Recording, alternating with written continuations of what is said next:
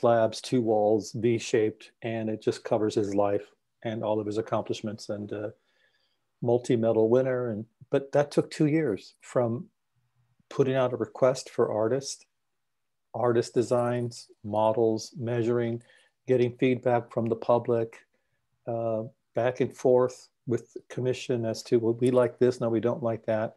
And then we turn it all into the city council, and the city council can say, yeah, no, we don't like it. We don't want it after all. Mm-hmm.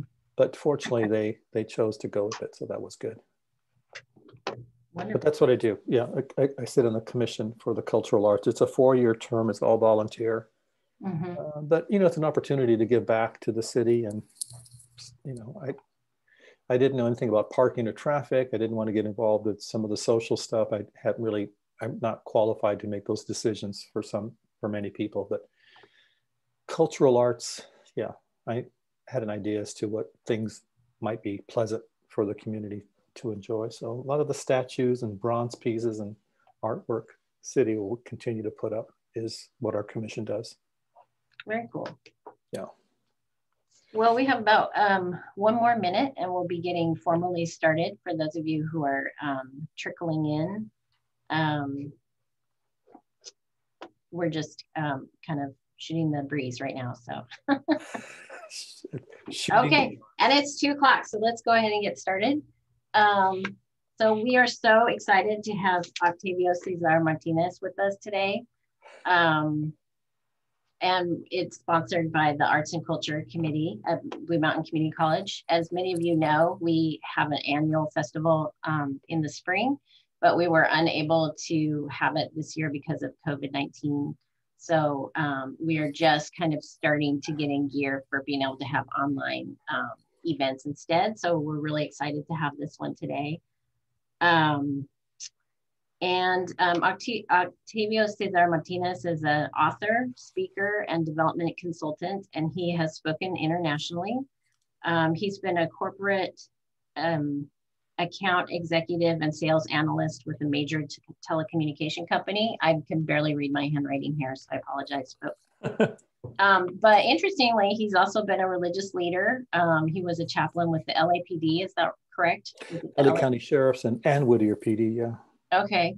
And um, some other interesting occupations like that. So, um, so we're really excited to hear about your story. Um, before we uh, get started, I'd like to um, show some guidelines. So please leave your audio and video off until the open question and answer times. Um, I, I, I asked you to raise your hand in the participant box if you would like to ask a question audibly, but actually I don't know if we have a little raise your hand um, icon on our Zoom room today. So um, maybe you could do like a, uh, a thumbs up or a clap if you would like um, to ask a question and we'll try to keep our eyes on that during the open Q&A times. Um, if you would rather not be recorded, because we're recording this session, you can also ask any questions that you have in the chat box and our very own Bruce Kaus will be monitoring that. Um, so we'll be sure to see your questions. Um, our tentative schedule for today, um, introductions, which we've already begun a little bit. Um, I've asked Octavio to read some excerpts from his book, especially for those of you who haven't had a chance to read it. Uh, we'll have a Q&A open to the audience. Um, if we have a lull in that Q&A, I have some questions from my students and myself that I'd love to ask.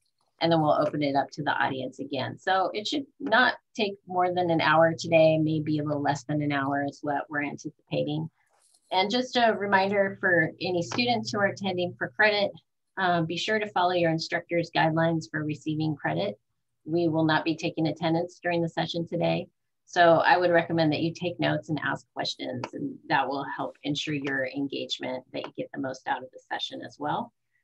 Um, and I'm gonna stop screen sharing in just a minute, but um, these are some, in case you happen to have the book, I asked Octavio to read um, from some of these, from these pages that are on the screen if you care to follow along. Um, but I'm gonna go ahead you know what? Hang on a second. Let me make sure I have those 16 okay. because I just to make 16 through 17, or was it? Uh, I think it was 18, 19. Oh, okay. But uh, so good thing I asked 33 and 34. Hold on a second. Uh, Boy, I'm, I'm looking like a student here. Hold on. Yeah, well, that's good. You're doing a good job. Okay, let's see here 33 and 34 and uh, 130 end of chapter. Okay. So do you want me just to read with and then maybe pause for anybody who has some feedback or just keep Sure. Keep yeah, yeah. Pausing would be great. Um, okay. Thank you. Great. Well, first of all, hey, thanks for having me. I've, I've known Sherry, goodness, is it going on 12 years? Yeah, maybe it could be 15. Actually, I was just thinking about this morning. Wow. Quite a while. So um, thanks for having me. Let me go ahead and read from um, the book here, the first opening. This is the opening chapter. It's the entire chapter, actually. It's entitled Unforgettable. The first beating I can recall rocked the hell out of me. He crashed his fist into my jaw with such force that it knocked me off my feet, and I would have collapsed, but he held me up by my shirt. And before I could process what happened, I was hit again and again and again. And I tried to stop this humiliation by holding up my hands, but that was a futile attempt to defend myself. He was stronger and taller and trained as a boxer, so I was outmatched.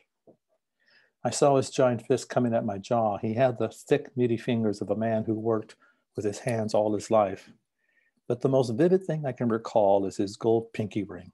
It was custom made, a simple gold ring with his initials OGM. One blow landed on my rib cage. It took the air out of me.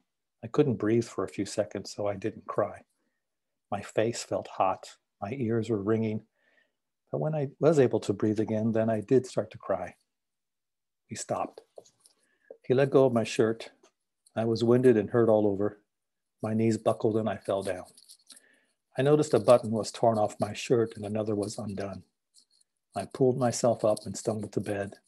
He straightened up and walked away. He was 34. I was seven. He was my father. I was his son. And it was a beautiful day when my father died. So it was uh, that was meant to be a bit of a hook. If, if, if any of you are wondering about the quote, the craft of writing, I was thinking, how do you start a story like this? And um, it was deliberate in that sense, but it also becomes a, a bookend because at the end of the book, I I pay a tribute to my dad as to what an amazing guy he really was, and so like my story is the vehicle that carries the idea of forgiveness and, and that kind of thing. But the opening is meant to hopefully either people put the book down or they just want to keep reading it at that point. So that's what I've heard from folks who who uh, got the book. Anybody have a feedback or a comment here while we're yeah, do we have any questions at this point so far? All right. Well, I'm gonna, I'll just keep going. Okay. Uh, so pages 10 through 12. My father was many things to many people, but I remember him as a AAA dad, alcoholic, abuser, adulterer. And all of this stingily crossed my threshold. I hated him. I had been on the business end of his beatings more than once. On at least two occasions, I went to school with visible bruises and bandages. I thought, what an awful thing I must be that my own father would beat me. But years later, I understood there's nothing a skinny boy could do to deserve a beating dealt out by a grown man. Even now, I can see his left fist coming at my jaw, and even now, I can see his angry face. Who deserves a memory like that? I was afraid of him. Physical wounds are one thing, they're easy to deal with. You can treat them, you can ice them, you can bandage them, and in time they'll heal.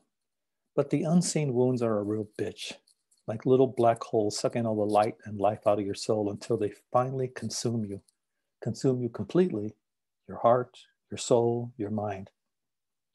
Bitterness, anger, unforgiveness, they suffocated my ability to give or experience love in any healthy way.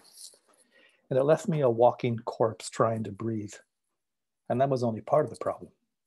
Hurt is not sustainable. My hurt morphed into anger, and then my anger morphed into contempt and that's where I held my father for many years in contempt. Past the hurt, past the anger, I held him in contempt for years. When my father died, it was a beautiful day in Los Angeles. It was July 2nd, 2004.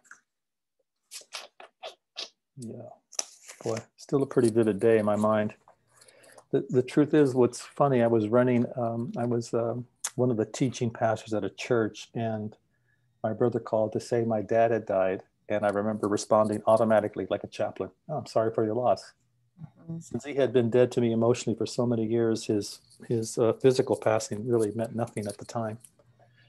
But it, um, when people ask me about the title of the book, um, I can tell that they haven't read the book because they'll say something like, uh, "Oh, so you had a very beautiful time with your father as he was passing," or something. No, or um, there was this great moment of reconciliation when he passed away. No, there are three levels of that title, and the first one is just simply that it was a beautiful day in Los Angeles, low 70s, nice breeze, blue sky. The other part of it is that I remember thinking I was just glad that he died. To be very truthful, I was. I actually thought finally, good. But the last part of it, and this is the most significant part, is that that was when the pivot occurred that's when in my 40s everything regarding um, how broken i was and how broken he was uh, came to a head and i was able to uh, step into a place of forgiveness t- towards him. And actually it was empathy first not pity empathy. Like yeah okay you didn't want to be this guy because i didn't want to be that guy.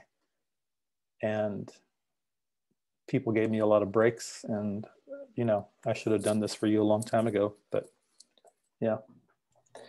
Well, one of my um, one of my students during our um, our book discussions this term mm-hmm. asked mm-hmm. the following question, kind of going back to where you said when you heard that your father had died, you said, "I'm sorry for your loss," and you mm-hmm. didn't feel anything. Mm-hmm. So one of my students asked, while reading, I wondered how Martin, Martinez dealt with all of his anger and hate towards his father. How, what did he do to manage it, especially when he was beaten constantly? And as a kid, oh, that's not the question. Sorry. Okay. how did Martinez not have any emotion towards his father's death? He talked so highly of him at the beginning of the book. How did he not think about those good times as a kid when thinking of his father when he died? Yeah, well, because uh, by the way, I gave this manuscript to a couple of therapists before I published it because I wanted to make sure that I wasn't violating a therapeutic idea or principle. And here's the reality when, when, when someone is upset or in pain or angry, now let me go back a little bit. I don't want to sound that highfalutin. Have you ever not liked somebody and no matter what they do, it, it makes you mad? Like you see this person sitting there just having lunch and you go look at them eating that sandwich like an animal. And they're just sitting there having their sandwich you know? When you don't like somebody you see them through that lens everything about them is bad. With our family or people that we care about the ones that have more access to us our hearts and our souls uh, it, it, it, it'll actually i think as in my case and i've seen in others it just wipes out all the memories that were positive and all you have are memories of what it's horrible. And on another level, it was also a way for me to feel morally superior to my father. I didn't want to think of anything he did that was remotely good. I didn't want to remember all the years that he worked hard, did what he did. I mean, he was extravagant with his gift giving.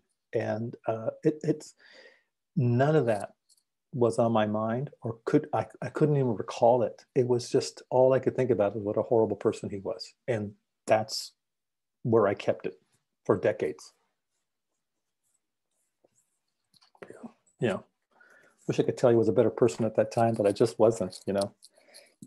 Well, I'm on page 19, so let me go ahead here. I think I'm going to be 19 to 20. On July 7, 2004, I officiated my father's funeral. It was like other funerals.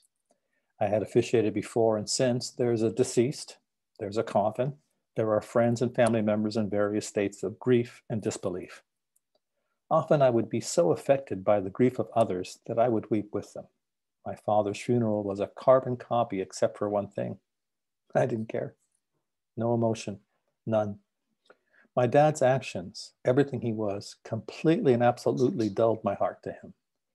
My emotional energy was needed and better spent elsewhere in my busy life than on him, so I settled for not giving a damn which ended up closing down an important part of my heart, which I'll always need.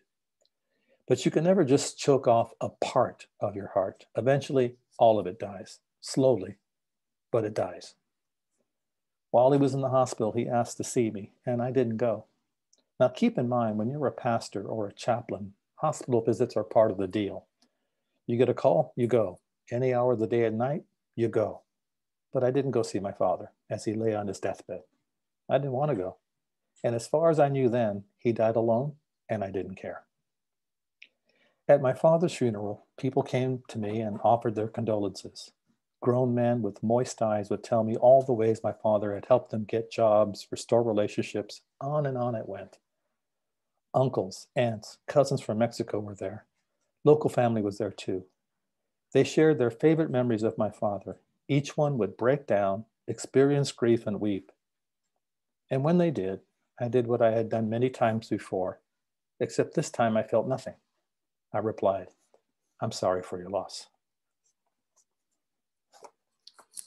boy, you know, when I read that, I think I was a real idiot. I was just a horrible human being. Um, but that is that is actually what happened. Yeah. So um, we have a couple questions in the chat box. Okay. Um, one is, did did you have um, other siblings who were also beaten?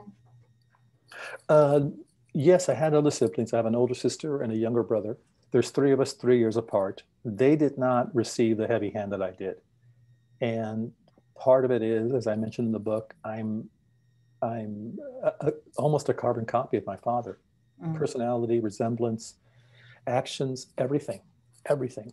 And I think there's there is a bit of guilt transference as my father didn't like certain things about himself. He saw them in me. There was that anger.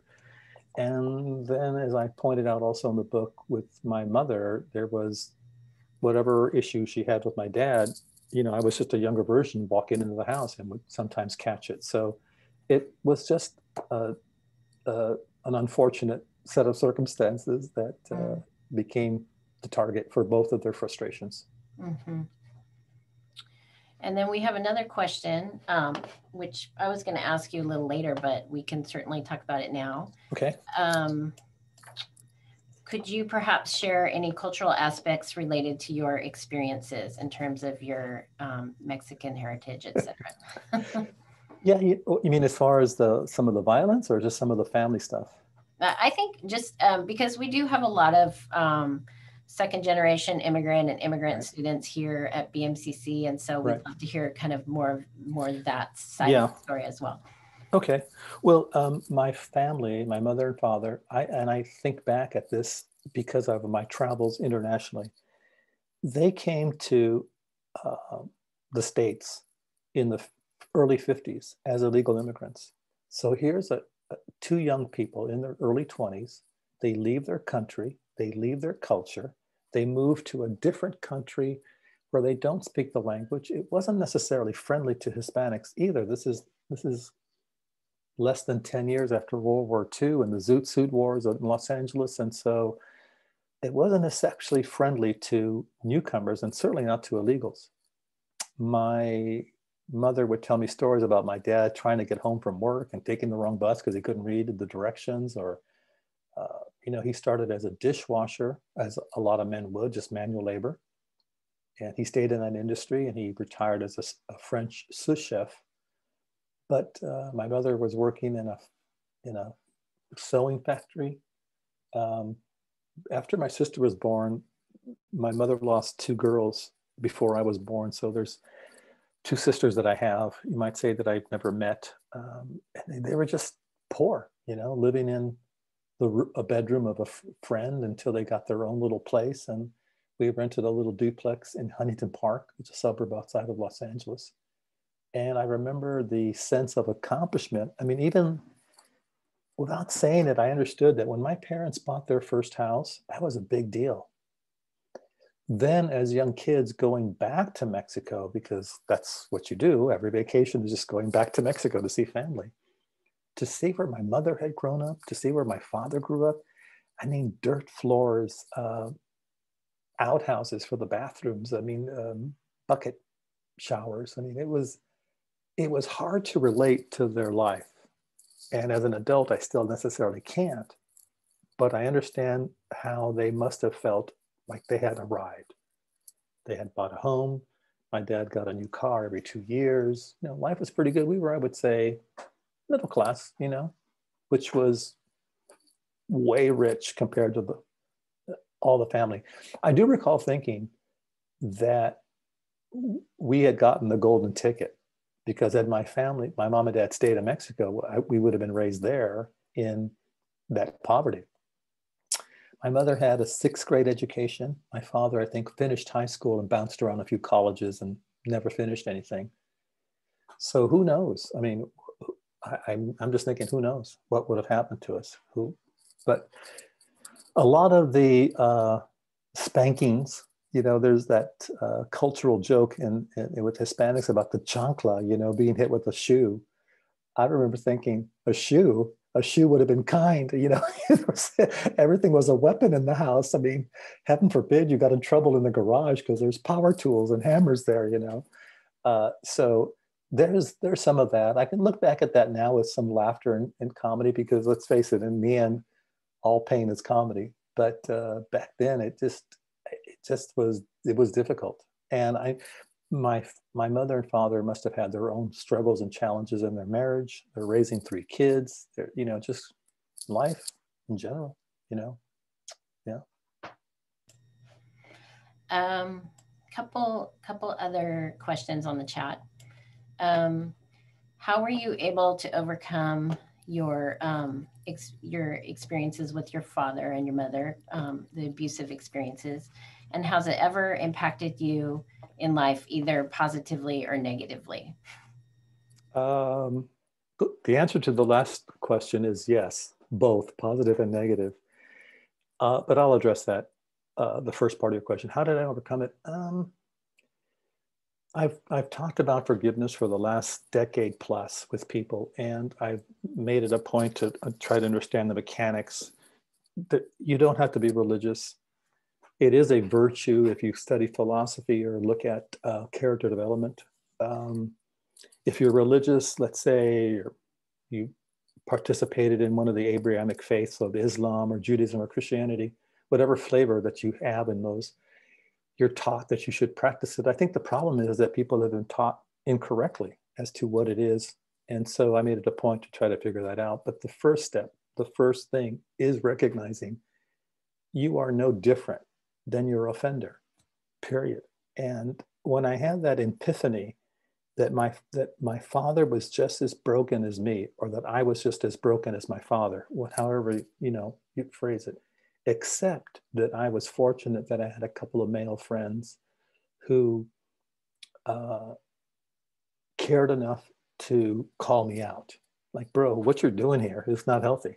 It there's some, you know, you're you're pulling some shit that's really not good. Look what you're doing to your family. Look what you're doing to yourself. And I I realized that I was on a on a track to become another statistic. So in my mid 20s or so, I had an epiphany where I pivoted and then I uh, rebuilt my life from work, health. I mean, I actually bought books on how to how to manners, how to behave. I mean, I was an animal. So um, I made it a point to, I guess, rebuild myself to be a member of society. But the final closing phase that, that, by the way, that was just getting rid of some violent temper. I didn't get to the place of forgiving my dad till my late 40s. And I was active in a church. And it's really surprising how you can have such glaring blind spots. You can clearly see somebody else's problem and miss your own. And so this is why I think it's helpful to have friends that are willing to uh, willing for you to be angry with them or break off friendship to tell you this is not good what you're doing and here's some hope. Um, another question in the chat. Did you did you ever try to seek help as a kid with doctors, police, or even family members? Or did you oh. feel that oh or did you feel that because this is something that was only happening to you, you had to deal with it alone? Yeah, this is remember I grew up in the 60s. So it's not like today where you know kids are encouraged to turn their parents in like it's some sort of new youthful Stasi or something. you know, heaven forbid you didn't get cereal right. Oh, my parents are abusive. You know, turn them in. Uh, I, am halfway joking about that, but back then, um, I I think there was. No, I never thought of ever saying anything. You know, in a weird way, in a very strange way. I thought that something was wrong with me. So, why would I tell somebody about like why would I tattle or or you know get my parents in trouble when it would end up that I would end up being the one that was really in trouble? So it never even occurred to me to talk to anybody about what was going on in the household. To be frank, yeah, not even once. You mentioned that after getting beat up one time, um, you showed up at school with a, a band with some bandaging, and the nurse saw you, and she mm-hmm. didn't say any there she said i don't remember what she said but one of my students commented on that was like why why did the nurse not do anything yeah, I don't think there was anything in place. I, I, I realize it, it seems shocking and irresponsible, but I will say this to that student and to people in general it is never um, helpful to judge people in the past based on your current sensibilities. Like somebody thinks, oh, this was happened 100 years ago. How could that have happened? Because at that time, that made sense at that time, that's, you know, it, if you wish to think that somehow you would have done something different, you're only fooling yourself. That was the culture. We've had reformers and people, individuals who, whether it was women's rights or slavery or whatever it might be, who spoke out against the culture and said, hey, you know, this is not healthy, this is not right, this is not morally right, we should make a change. And that's remarkable. But it, you know, I, I think it's um, it's uh, a bit dishonest, and it feels good to claim and think I would have never done what somebody did. Think about this. This is now going on 60 years ago. Yeah, maybe you would have, and perhaps she didn't see as as a big danger at the time. But here's my here's my challenge to some of these folks who think that in 60 and 100 years from now when your grandchildren are looking back at your life when they look at your our music the way that we dress the technology that we had and some of the ideas that we hold so important i wonder how many of them are going to stand the test of time. I really do you know? Um, i don't think a lot of it will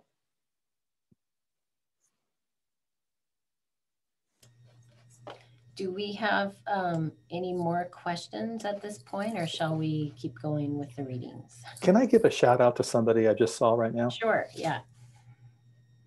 Tim Robertson is my publisher. Oh, and oh, hi, he, he, he, graciously came to listen to this. And here's a guy that's been exposed to this story as much as I have. So, Tim, thank you for the support. That's really sweet of you to be here. uh, I think I'm supposed to read 33 through 34. So, um, if you don't mind let's see here. Uh, I loved and still love the Catholic Church, the church with all its mystery and majesty. The smell of incense, the sound of sh- the shoes made on the marbled floors, the art, the feel of the wood, and the sounds of my smock as I walked. And I learned to take it seriously because of my father. He was so strong and so big in my eyes, so when he kneeled and prayed, I noticed. Who was God that my dad would bend his knee and pray to him? What did my dad know that I did not? I can see his face, the profile of his face as he prayed, his eyes darting back and forth, never closed, always open when he prayed. And he prayed silently to himself. Hang on a second. so I never heard my father pray. I, would see his lips move, with his eyes open, looking up, looking back and forth. And I wonder if he ever found what he was looking for. it's funny. I've read this, I don't know, a million times. It'll still sometimes surprise me with a little bit of emotion. Yeah, I, I, I'm grateful for my mom and dad because, um, I mean, to this day, I can, I can, I, I, I can still see him praying. Um, he wore a suit to church. Um, you know, it, it leaves an imprint when you see your dad do whatever it's going to he does you know and uh, whether it's working or being that guy or you know a, an act of violence. But as i understood when i got older he didn't want to be that guy. And i think at church he was looking for redemption. I hope he found it i trust he did but he took church seriously and that's where i learned to take it seriously. Even if i was even if i was frustrated and wasn't changing as fast as i thought i should i realized that that was the only place where at least uh, for me that i was going to find that help. And uh, that's because of my dad. Yeah. So don't know if anybody has another comment or question because of that uh, well, it, I don't know if it was related to that, but um, was uh, I find this question interesting because you mentioned in the book how you became violent as a as a boy and a young man. Yeah. Um, but the question is, was your father violent towards others besides you? yeah, he was. Uh, it's it's funny how uh, I and this is going to be a very broad brush, but I remember almost a sense of pride that my mother talked about my dad when somebody gave him crap there was apparently a fight he got into as a young man in in in one of the kitchens he worked at as a cook, and the the the charge was that he had used a weapon when he uh, broke this guy's jaw and skull. No, it's just my dad's fist. He knew how to throw a punch, and so uh, so I don't think she ever was unsure that my dad could protect us if something went wrong. I remember one time somebody molested or did something to my sister at Sav-On's. We were standing in line for ice cream. This is back before it was called Osco. And uh, my sister told my dad, I guess, as we just got home from getting ice cream, he was so lit up. We got back in the car. He went looking for him. And I, I'm grateful that my dad didn't find that guy. He probably would have killed him. So uh, my dad did not back down from a fight. And some of it was some of it was also his sense of what's right and wrong, which I, I, can imagine a lot of the things he did must have tormented him because he was acting inappropriately. But he was a very affectionate, emotional man. What he did not have was control over his emotions, and that was his downfall. Um, another question. Um, I have a friend who was assaulted by her father. He used to pray to God for forgiveness, and as an adult, she became an atheist. Did mm-hmm. you retain your faith? Oh yeah, yeah. That was never that was never lost. Um, uh, Sherry knows this story. A couple, um, Tim does. The, um, I, I was raised Catholic till I was about eleven. I went to seminary to become a priest, and while at seminary, I had a very powerful experience that caused me to think I'll never be good enough. And so I was so disillusioned because for me, the church was, um, well, to use a modern term, it was a safe place. I loved everything about it. I still do. And became active in the Protestant for 45 plus years, 10 of those years as a pastor, which makes my behavior more shitty because I knew better than, uh, um, but so, you know, went to uh, a Protestant university, earned a degree in philosophy and theology and art um, in my 50s.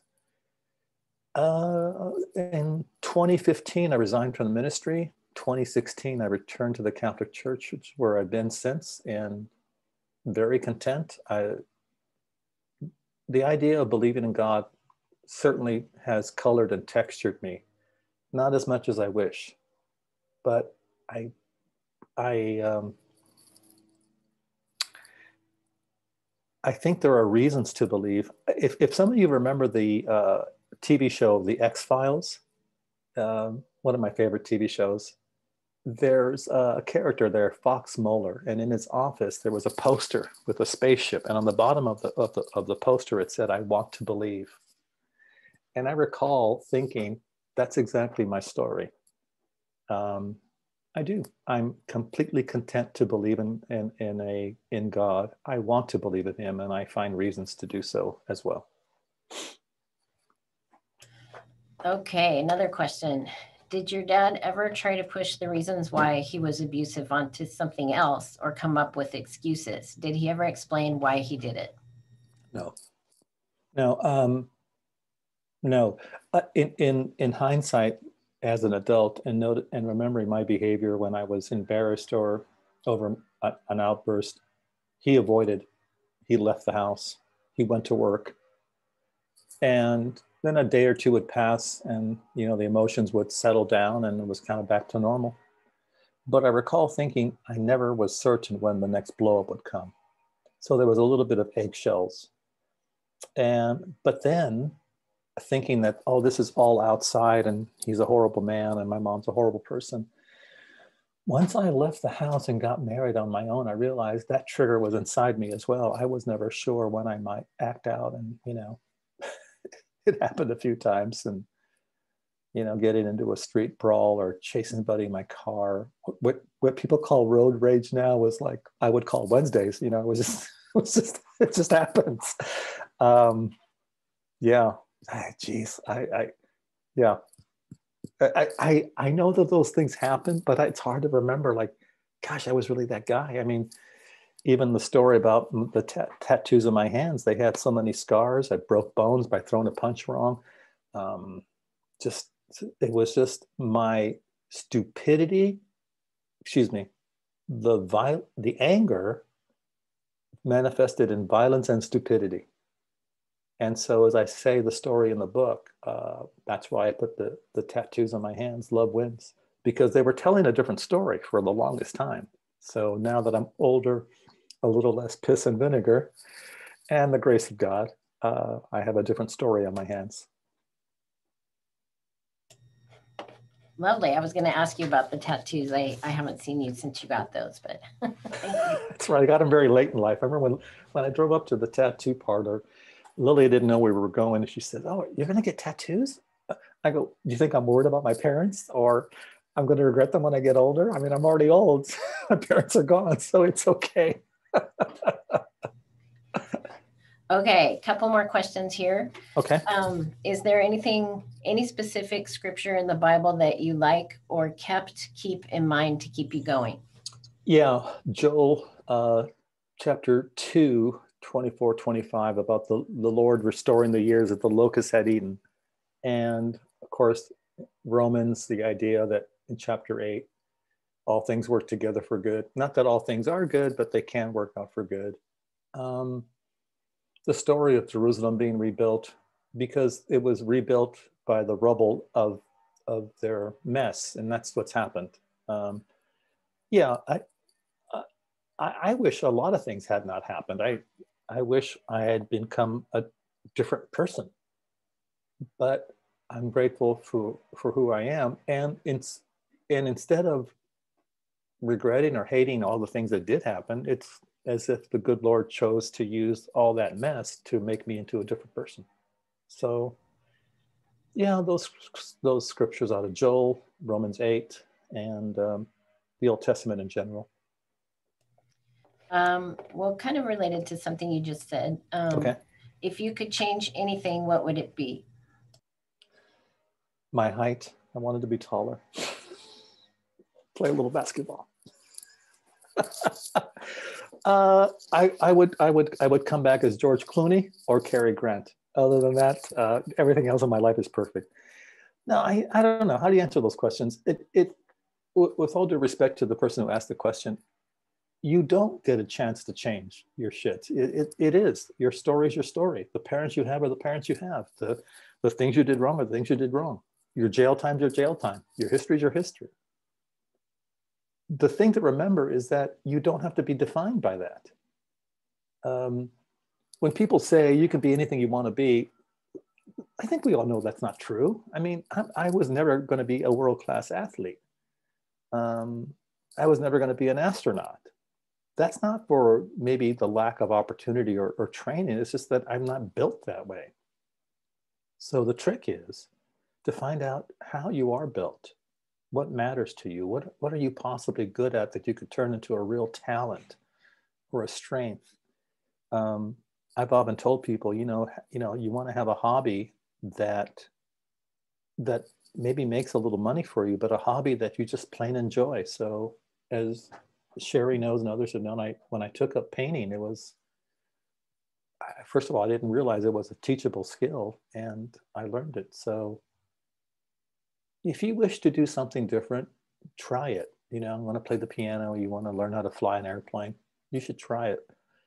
I think that's the benefit of going to college is that you get exposed to different ideas and, uh, and people and viewpoints, and you might discover, wow, I really love doing this. It doesn't necessarily pay money, but I really have a sense of contentment and joy from it.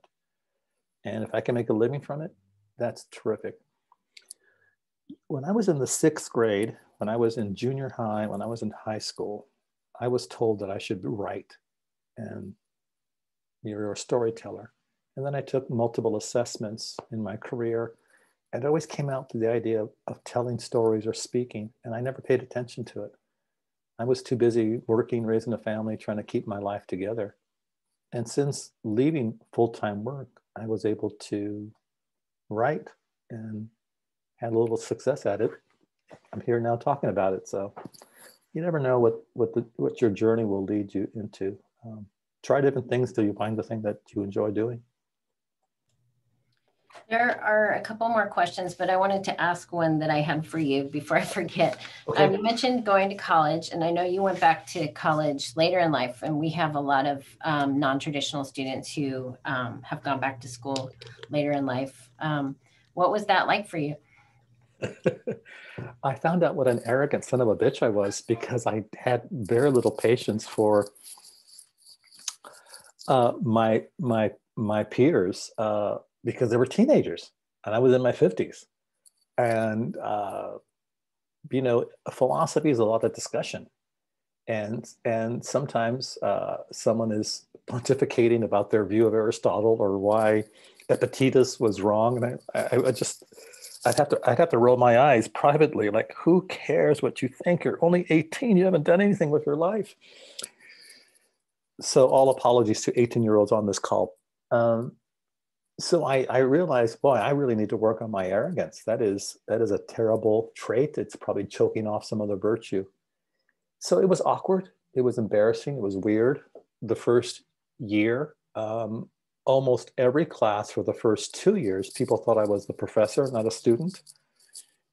And then I, uh, I only had one professor in four years. It was older than me. And uh, let's see what else was different about it.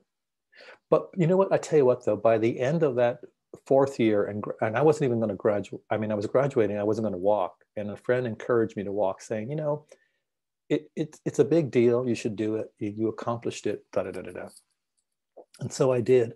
I didn't. I was surprised to find out how emotional it was for me. Um, yeah, I, I got to love those guys. There was ten of us in, in my philosophy cohort, and I miss those guys. I love them. We're all friends on Facebook, and I see them growing up and getting married and starting their careers. And uh, I'm just grateful that I got a chance to meet these guys when they were just putting together their lives. That's awesome. Well, let's go back to some more um, questions in the chat. Um, okay. One is, do you have any kids of your own, which you've mentioned a little bit? Um, mm-hmm.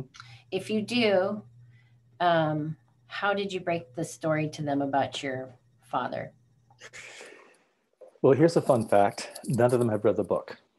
Uh, I, I, about back in the days when you could walk in walk in public without a mask, I was visiting my son and his wife and uh, our, my granddaughters, and we were taking a walk. I was talking about the book and how a lot of the, the book parties and things were canceled for the year.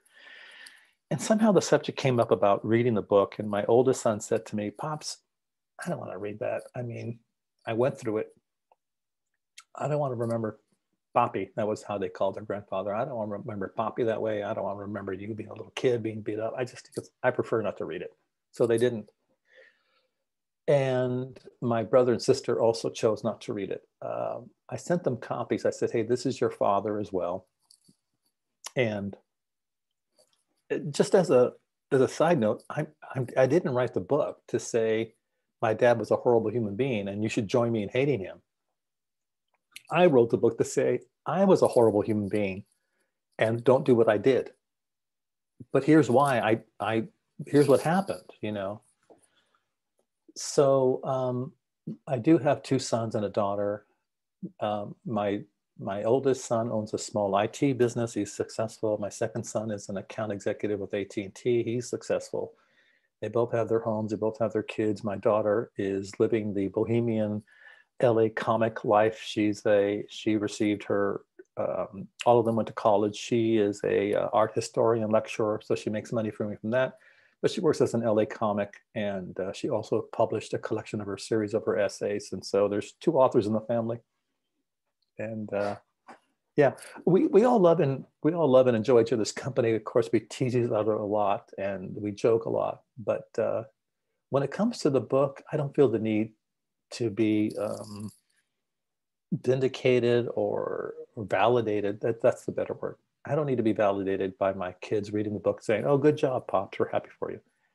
But they, but we cheer on each other's successes, whatever they might be, and they're happy that this is helping other people. When I was working at a church, they, they didn't like coming to the church where I was at.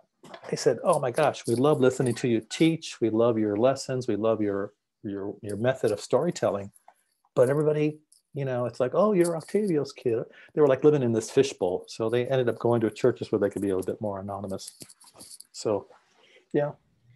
Um, so another question kind of related to that is, did you draw criticism from your family when you wrote this book? No, no, because I told them that I wasn't, I wasn't trying to, uh, I was fortunate. I, I had an assistant who worked for me and I gave her the first 30 pages as a treatment. And when she read it, she said, you know, I love your father because the way you you speak of him and the way the story is going, you're this hero and your father's a monster. And I remember thinking, man, that is exactly what I don't want. So even though I share a lot of the negative stuff that happened that my dad did, including myself, I needed to humanize him and point out that he had his own bag of crap that he had to deal with as a small boy that he brought into all the relationships. He must have suffered different humiliations uh, being an immigrant in a country where he didn't speak the language and maybe being cheated out of wages or who knows whatever. Just just because of not because of America. It's just how people are in, in general.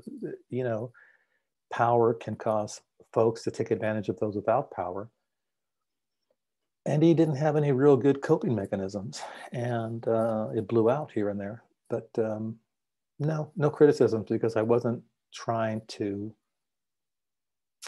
i wasn't trying to portray myself as a victim. I was trying to portray the story as don't let this happen to you.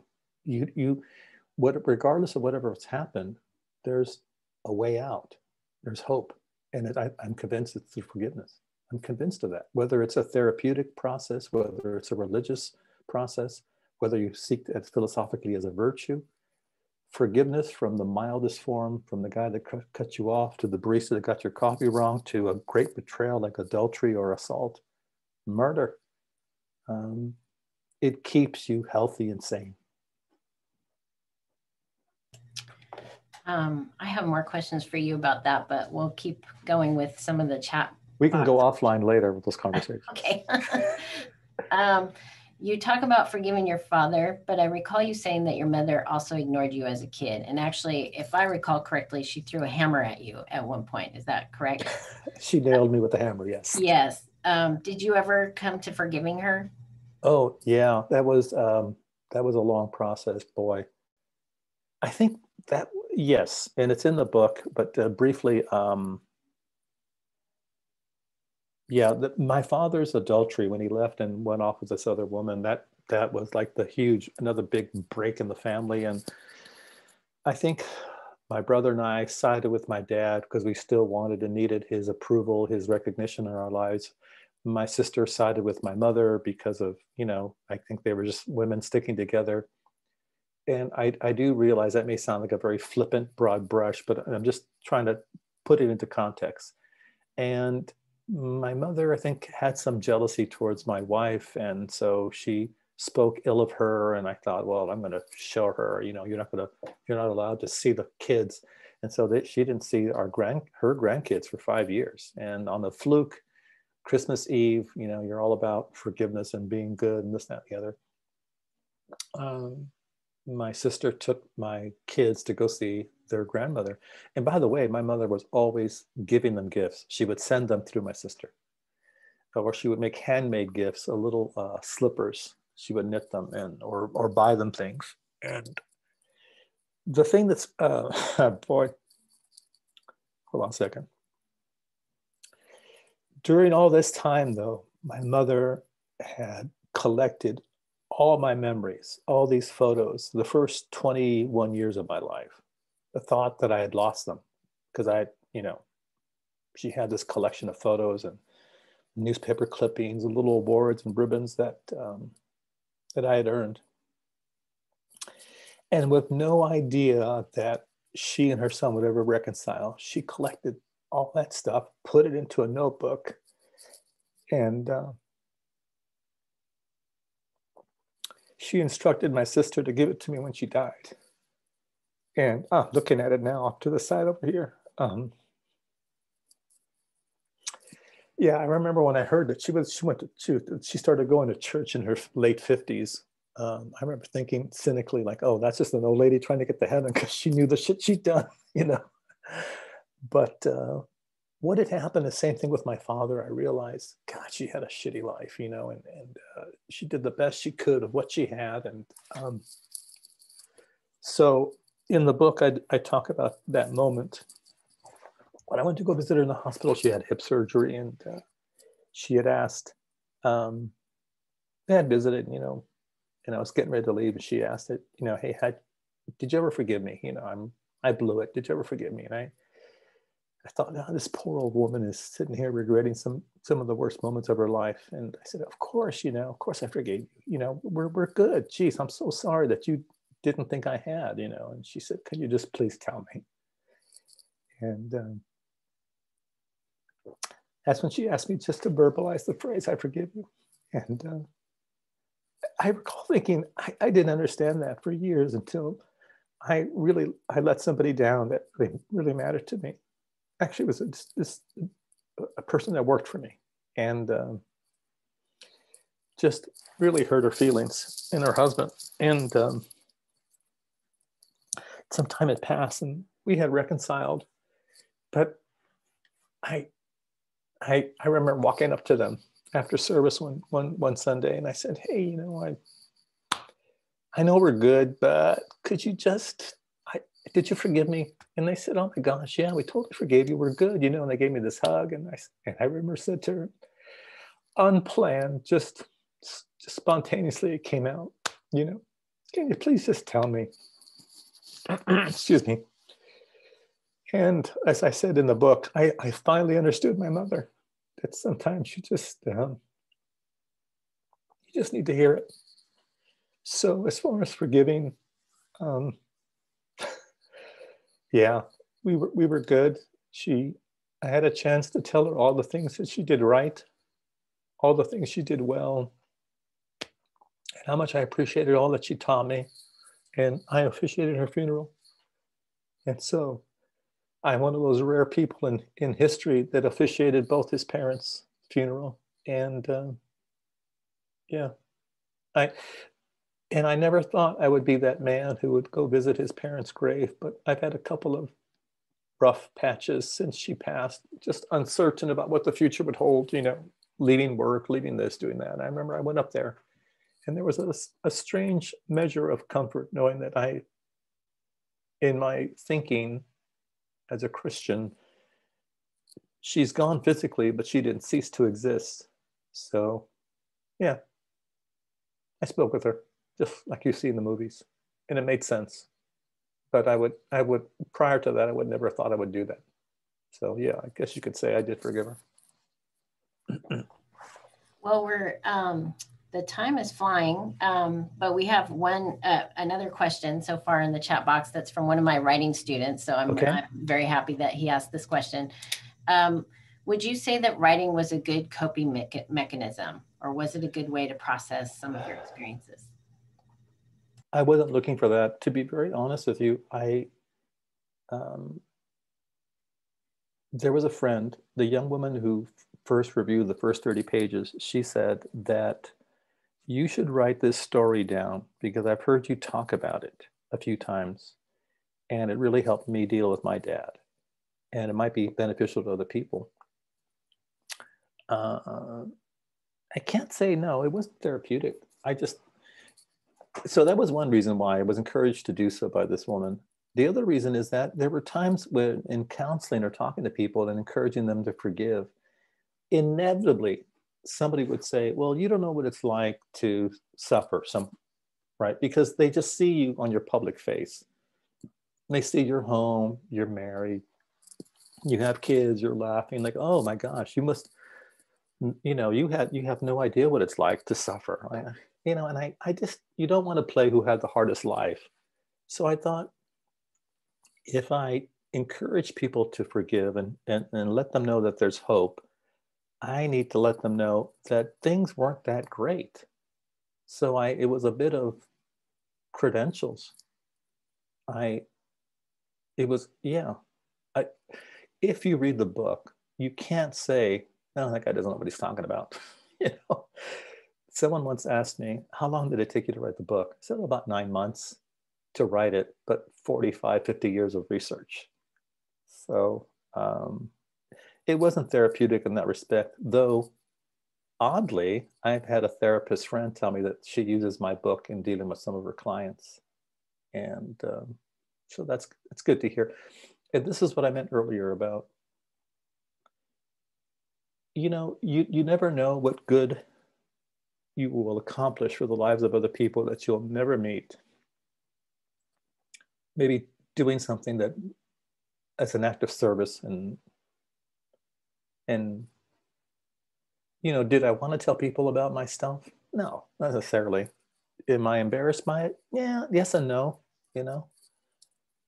But if somebody else benefits from this book or from the idea of forgiveness and they pursue it and they they they become set free, I can't think of a better I can't think of a better ending to or redemption for all that I went through than that. It would be worth it. So so here's a big maybe possibly our last question. I'm not sure. Okay. Um, what advice do you have for us in these politically contentious times when we tend to focus on our political and other differences? How can we forgive people who we don't understand, who don't understand us, who we're so different from? Yeah, I, it's the same idea. Um, I I've had to verbally say for some people in some situations, I forgive you, I release you, I bless you and I love you. But that's mine. For some of you, you won't be able to say I love them. But I, I it, it just it just doesn't matter. I, I realize that it, it is very divisive. You still, it is still to your benefit to forgive them. And I'll tell you why. Because you carry that shit into every relationship or organization and you think, well, it's only that person that pisses me off, but it's still there.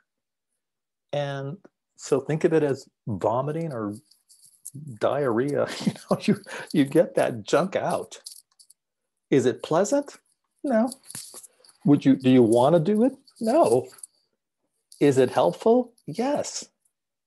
So we understand that in the physical realm that if, if you're sick, you know, you t- accidentally eat the wrong thing, the doctors will induce vomiting, or you know they'll give you something to, to go to the restroom and eliminate that way. But when it comes to the invisible emotional, mental, or spiritual process, we just think somehow there's some sort of magic that happens, or you can ignore it. No, forgiveness is elimination. Forgiveness is eliminating what is waste and perhaps keeping what is good. Because even in a negative situation, you can learn from it. Um, but I would absolutely that that question is fantastic. I would absolutely encourage that that that asker of that question to forgive the other one that has a different opinion, and um, because uh, you will cloud potentially your thinking in the future and your judgment, and it could affect your relationships. And and i'm it is that serious. Those things do not go away. They accumulate. Forgiveness is a way to like a steam valve releasing all that mess. Or you can keep the vomiting and diarrhea metaphor if you wish. Thank you so much for leaving us with that. You're welcome. Um, so we have um, two minutes left. Does anyone else have any questions? Um, would you like to raise your hand and say anything? Um, I think we can unmute you if, if you would like to do that or put it in the chat box.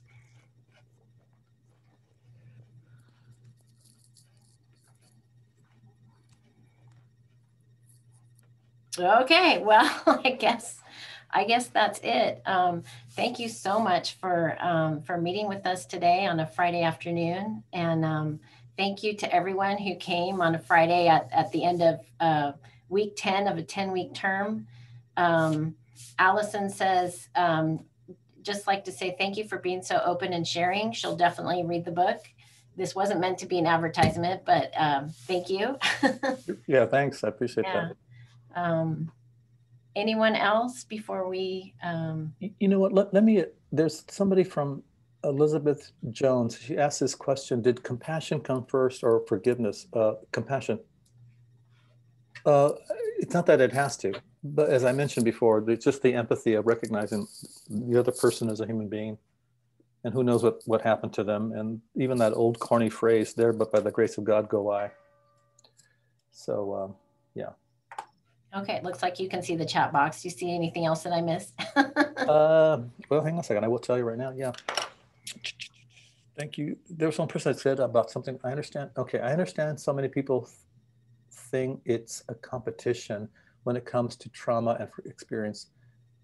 People just think because they had a work experience that makes the other person's trauma is invalid. Yeah, that's true. Um, look, I, it's not a competition, uh, but it's the same remedy forgiveness. And uh, I remember giving these talks in, in Europe. One, one woman in, in, in Germany, she came up to me. She was in her late 50s and uh, she heard the talk and uh, she came up to me she's, and she, this is, this is horrible. Uh, she was, when she was a little girl, both her mother and father, her parents would pimp her out to older men for sex. And of course she had a lot of horrible baggage to carry. And she said, how do I forgive that? And we talked a bit, and but my first approach was um, to simply point out that as hard as it might be, what she was carrying for the last few decades was just as hard. So pick your hard. Look, going on a diet is hard.